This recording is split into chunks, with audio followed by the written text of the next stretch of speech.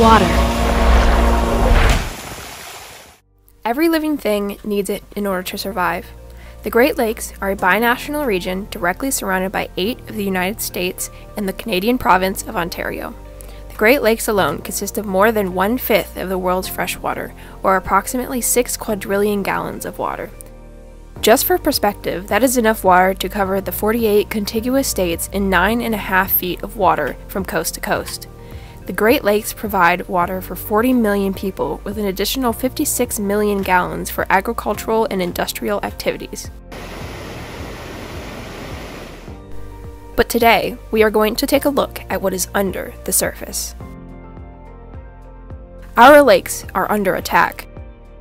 The Great Lakes is now home to nearly 180 non native species, and a new one is discovered every 28 weeks on average. Species like the Asian carp and the sea lamprey are competing with native species for food and shelter. Regional extinction is on the rise. But today, we're going to look at a threat that is not so large in size, but they have a huge impact on our lakes. The zebra mussel. These little mollusks are named after their zigzag striped pattern on their shell. These creatures can live anywhere from 3 to 9 years and can survive up to 2 weeks out of water. The zebra mussel is native to freshwater lakes in southern Russia and Ukraine. They have been accidentally introduced to numerous areas and have become an invasive species in multiple countries worldwide. They were speculated to have been introduced in the 1980s by ballast water discharge ships from Europe.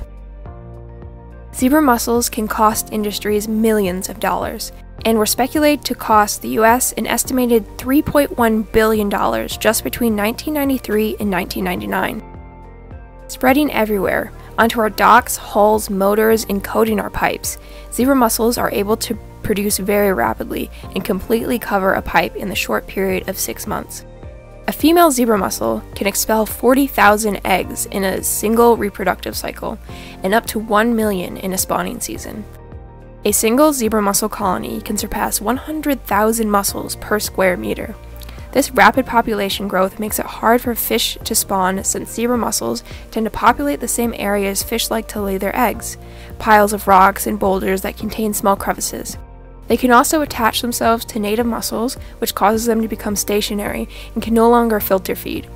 I bet you can use your imagination to figure out what that leads to. Zebra mussels litter beaches and beachfront property. These tiny, razor sharp shells might make your beach day a little unpleasant. A decrease in public beach use has been seen in areas without the proper beach sweepers, which can cost at least $130,000. The beachfront property owners are definitely going to want to fix this zebra mussel infestation. Well, probably. Studies show that these mussels affect the water clarity due to their ability to filter about 1 liter of water per day per mussel. So, a bigger infestation, the clearer the water, which could possibly cause the property price to go up. Well, depending on your timing. After a certain amount of time, the mussels can cause an overgrowth of green film like algae on the top of the water. Mussels filter out so much of the plankton and suspended solids in the water that it can increase the growth of aquatic plants. When these plants die and decay, it makes the water go low in oxygen and leads to an excessive amount of blue green algae, which can be toxic to humans and other animals. Moreover, the lack of food left for the other animals in the area causes an ecosystem collapse. So I'll let the property owners decide where they stand on that one. Even if the water looks nicer, that still means that there is less food for the other native species to eat, and therefore, your future fishing experiences aren't going to be as much fun. This onslaught of non native species is wreaking havoc all over the United States, with very few successful eradications and dozens of infestations. Although the status of this issue isn't super urgent, it is classified as least concern, but due to their rapid reproduction, it is becoming more and more of an issue. Things like proper maintenance, strict regulations, and new engineering designs are contributing solutions. There are many resources that can show you how you can help with this issue. Most sources recommend cleaning, draining, and drying your water gear every time you take it out of the water to prevent further spread of the microscopic larvae.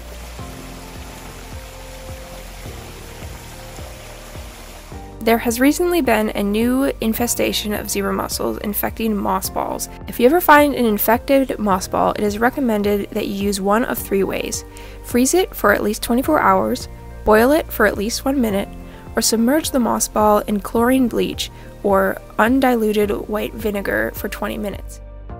While there are not many ways you can individually help, these small steps you can take to prevent the spread of any type of invasive species can help. I recommend searching what non native species are in your area and see what kinds of things you can do to help. For now, hitting the like button and sharing with a friend can help spread awareness. Thank you all for watching.